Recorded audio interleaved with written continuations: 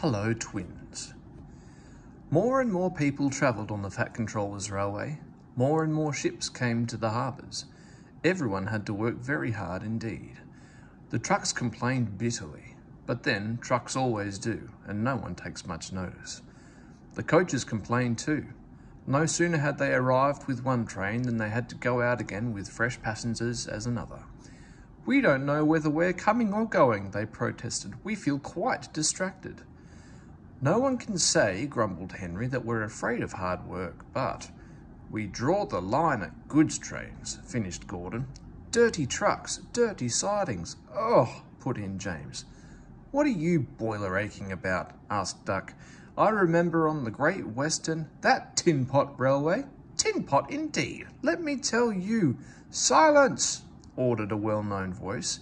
Let me tell you that an engine for goods work will arrive from Scotland tomorrow. The news was received with acclamation. The Fat Controller stared. Did you say two engines, Inspector? Yes, sir. Then send the other back at once. Certainly, sir. But which? The Fat Controller stared again. Engines have numbers, Inspector, he explained patiently. We bought number 57646. Send the other one back. Quite so, sir, but there is a difficulty. What do you mean? The two engines are exactly alike, sir, and have no numbers. They say they lost them on the way.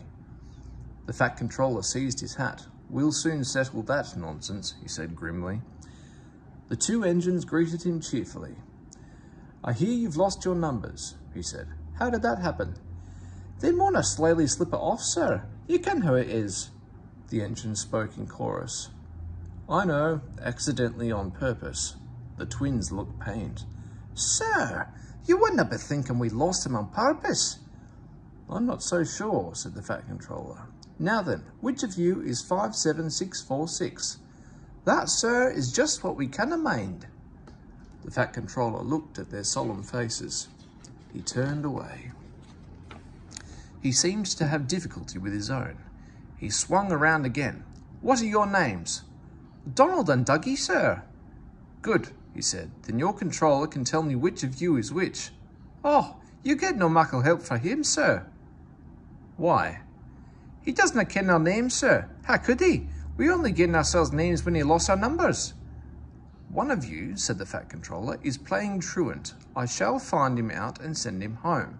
Inspector, he ordered, give these engines numbers and set them to work.